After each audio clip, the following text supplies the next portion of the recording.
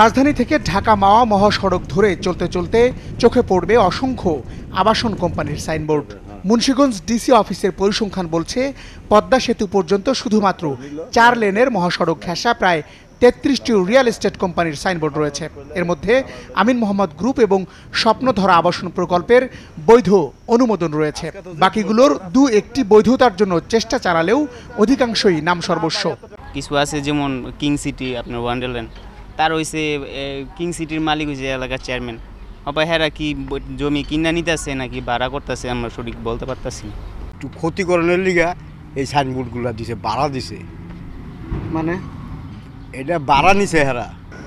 এসব সাইনবোর্ডের আড়ালে প্রতারণা ও জিম্মি বাণিজ্যের অভিযোগ রয়েছে। কেউ কেউ বলছেন স্থানীয় প্রভাবশালীদের মদদে প্রকৃত আবাসন ব্যবসায়ীদের জিম্মি করে জমির দাম বাড়িয়ে দেওয়া হয়।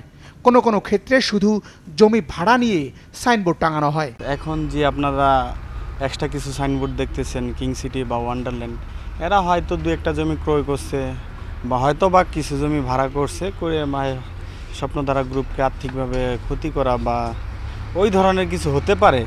শ্রীনগরের ষোলোঘর ইউনিয়ন এলাকায় দেখা যায় একই জমিতে একাধিক কোম্পানির সাইনবোর্ড স্বপ্ন ধরার সাথে কিংস সিটি এবং ওয়ান্ডারল্যান্ড সিটির এই রেশারেশির কারণ জানা যায় সংশ্লিষ্টদের কাছে। কিছু লোক অযাচিতভাবে নিয়মতান্ত্রিক আইন, আইনের ঊর্ধ্বে গিয়ে তাদের গায়ের জোরে কিংবা লাকার জোরে কিংবা যে কোনো কারণে মনে কোনো আপনার কি বলে, দৈব কোনো ঘটনার কারণে এসে আমাদের প্রকল্প এরিয়ার মধ্যে তারা সাইনবোর্ড বসাই দিচ্ছে। নামে, বেনামে, যার কোনো আদৌ কোনো ভিত্তি নেই। না আপনার ন্যাশনাল হাউজিং নিবন্ধন আছে, না জেলা প্রশাসনের আপনার অনাপত্তি ছাড়পত্র আছে, না পরিবেশ ছাড়পত্র আছে। ইভেন জমিও নাই।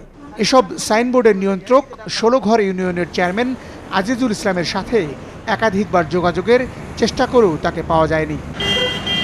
আবাসন খাতের সংকট থেকে রক্ষা পেতে প্রয়োজন সরকারের আইনি কার্যকর পদক্ষেপ। বাতেন বিপ্লব এস ঢাকা।